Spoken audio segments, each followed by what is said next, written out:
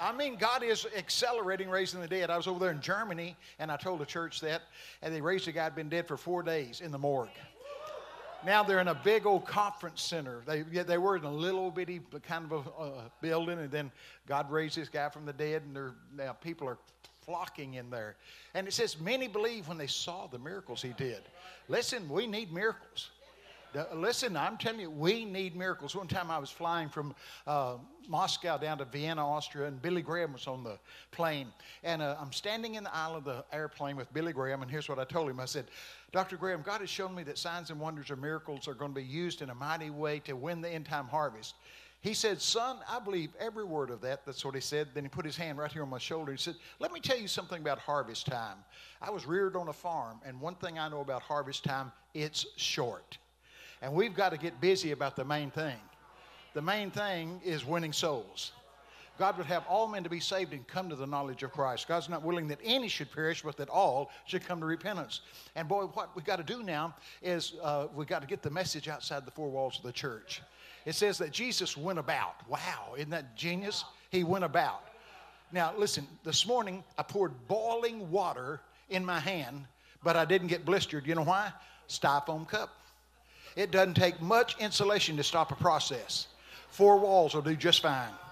If we keep the gospel inside four walls, it doesn't affect the people that need to hear it. How can they get saved if then uh, we got to preach the gospel, hadn't we? Wasn't that wonderful? Like I love the guitar player. When he walked by, I gave him a verse out of the Bible. Psalms 144, verse 1. He teaches my hands to war and my fingers to fight. When he picks up that guitar, that's not just a guitar, that's a weapon. Isn't that something? He teaches my hands to war and my fingers to fight. Psalms 144, verse 1. Now, listen, prophets are supposed to know the timing. Uh, now, here, if, if, I, if I could just, if I, if I had a big old uh, board up here, I'd draw you something. Now, watch my hands and see, see if you can see what I'm doing. Right, it goes just like that, goes down and has a question. It's a question mark. That's where the church is right now. We're going, who where are we? Who are we? What are we going to do? And God's about to turn our question mark into an exclamation point. Aren't you ready? God wants us to be ready. I'm telling you, He has equipped us with everything we need. Colossians, Colossians chapter 2, verse 9 says, All that God is, is in Christ. The Bible said it pleased the Father that the fullness of deity would dwell in Jesus Christ permanently. So Colossians 2 9 says, All that God is is in Christ. You go, I believe that. Well, do you believe Colossians uh, 2.10? All that Christ is, is in you. We got to get rid of this stinking thinking. Did you know the devil and God both are asking you the same question? How could holy God and hateful devil be synchronized in asking you the same question? Here's the question. You ready? Who do you think you are? Hell's going, Who do you think you are? Heaven's going, Who do you think you are? As a person thinks, that's how they'll be. Remember in the book of Numbers when God said, Go take the land, it flows with milk and honey.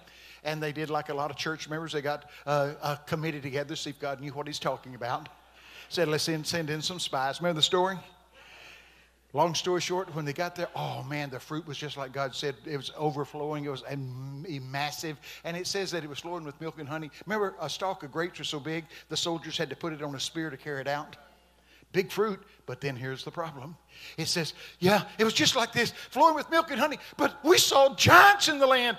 And when we analyzed ourselves against the giants, we perceived ourselves as grasshoppers. Here's what your Bible said because they perceived themselves as grasshoppers, the enemy had the privilege of seeing them as grasshoppers. Now, we got to answer the question who are we? We're, we're, well, we're giants. Yeah, here we go.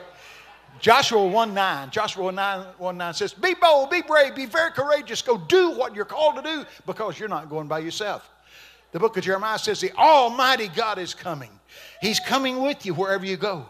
I mean, that's all you need, isn't it? Yeah. So we're, we're going to talk about, uh, I asked three questions all over the whole earth. If not now, when? If not here, where? If not you, who? Now, if not now, when? See, a lot of people are paralyzed by the past. Oh, if I'd lived in Wigglesworth Day, if I'd lived in A.A. Allen's day, if I'd lived in William Branham's day. You didn't. You're living now. And see, they're paralyzed by the past. Some are, are paralyzed by the future. Somewhere out there, the whole earth is going to be filled with the knowledge of the glory of God. Well, uh, that's true, it's going to be there. But some are fantasizing about the future. But I love the little word now, N O W. It blockades the path through the past, barricades the path through the future, and traps us in the present. You and I need to move with God when? Now. That's what it says, Hebrews 11 1. Now, faith is substance of things hoped for, evidence of things not seen. If the church needs anything, we need substance and evidence. We can't keep talking about a God we can't prove. He wants to show up and show off. Paul said, I determined not to know anything among you except Christ and Him crucified. I was with you in weakness and fear and much in trembling. He said, My speech, my preaching was not with enticing words of man's wisdom, but in a demonstration of God's power. It was never the plan of God to establish the kingdom of God with mere verbiage. 1 Corinthians 4.20 said the kingdom of God doesn't consist with just mere words, but God demonstrated deeds. So we need that anointing upon us, don't you think? Not one single miracle is recorded in your New Testament that Jesus did until he was filled with Holy Ghost. What? Not one single miracle recorded in the New Testament that Jesus did and he was filled until he was filled with Holy Ghost. Nearest thing to it, teaching, astonishing people with what he knew. Acts 10 38 says God did something. He anointed Jesus of Nazareth with what? Holy Ghost and with power. See, you can't, you can't have power without the Holy Ghost. Jesus, Jesus said, You need the anointing. You know why? We're supposed to be doing the same things He did, only bigger. These works that I do, and greater works than these shall you do because I go to my Father. Wow. Now, He means that. These are not just words, these are challenges. Now, I want you to start realizing who you are. The question was, who do you think you are? 2 Corinthians 5.20. 2 Corinthians 5.20 is, here's that English word again, N-O-W. Now are we ambassadors for Christ. That's what it says now. Are we ambassadors? So it would behoove us to find out what in the heck is an ambassador, if that's what we are. Now, here's what it said when he, when he wrote ambassador it's, it means a senior representative sent out with authority. A senior representative sent out with authority. I don't know about you, but my mind goes, okay, how much authority do I have? I have the same amount as the one that sent me.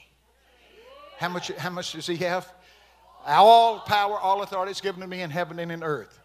We tried to find out that there's no need to wait, there's no delay. I'm telling you, now is the day. So we're talking about if not now, when. The Bible said, today, if you hear his voice. Second Corinthians, what, 6 2 says, now is acceptable time. Now is the time of an assured welcome. Now is the time he'll hear you and help you. 2 Corinthians 6 2. Now, when I, when I read the Bible, I read it out of the Amplified Classic. I'd suggest you do the same thing. Don't get the AMP get the AMPC. They're hard to find, but they're worth it. The AMPC, the, the AMPC is really good. See, I'll give it to you like Psalms 92:10, King James. You ready? My horn has been exalted like the horn of a unicorn. Heck, how many of them you seen? Yeah, yeah. But Psalms 92:10 in the Amplified it says, "My stately grace." Oh, I like that, don't you? Has been banded like that of a wild ox. Now, I'm from Texas. I can work with a wild ox. I used to ride bulls in the rodeo. I got knocked out and heard Conway Twitty singing. Woo! Getting knocked out was bad enough, but hearing Conway Twitty sing. Mm. Have, have, you ever ridden a bull? Oh, it's awful. You, you know, you get on there and the bull's snorting and snot's going everywhere. And there's some idiot on the gate with a big old shooter rocker and he goes, You ready? You go, Yeah, you ain't ready. they throw the gate open, it explodes. That's the longest eight seconds you'll spend. You in and out. But anyway, anyway, I, I wouldn't let my boys do it. But anyway, here's what I want to talk to you about. I want you to understand we have already won. All we've got to do is go pick up the spoils. God likes to do new things. That's, and he, isn't it uh, Amos 3 7? Amos 3 7 says, Surely, absolutely, God will not do a single thing without first revealing what he's going to do to his servants, the prophets. Isaiah 48, verse 6 and 7 said, God said, I do a new thing. It's new now and not prior to now, so nobody would be blase going, I already know that. Isaiah 48, verse 6 and 7. God likes new things. If you want to see one of the newest new things in the Bible, Second Chronicles 20. Second Chronicles 20, that's where Jehoshaphat and the people of God were under great attack. It looks like it's a, a, a situation could not be solved or settled in any way. And here's what they do Jehoshaphat calls an assembly. And he gets everybody praying, fasting, seeking God. The women, the soldiers, even those that suck the breast, because what they're facing uh, touches every segment of society. And I think that Jehoshaphat in Second Chronicles 20 does something fantastic in the midst of a people that are very confused, he stands up and begins to rehearse how good God has been in the past. Wow. Oh, Lord God. Oh, I'm screaming. Oh, Lord God. Are you not the God that drove out our enemy? So he stands in front of a bunch of confused people facing an insurmountable situation and begin to rehearse how good God had been in the past. And then here he gets to that Second Chronicles 2012. Second Chronicles 2012. It says, Oh Lord, we don't know what to do against this great multitude that's come up against us, but our eyes are upon you. And as they were praying and fasting, seeking God, the Spirit of the Lord fell upon a prophet. And the prophet gets up and prophesies a new thing. He said, Listen to me, Jehoshaphat, and all of you Judah, uh, in Judea. Here, and he, see, that's what people got to learn to listen to the prophets.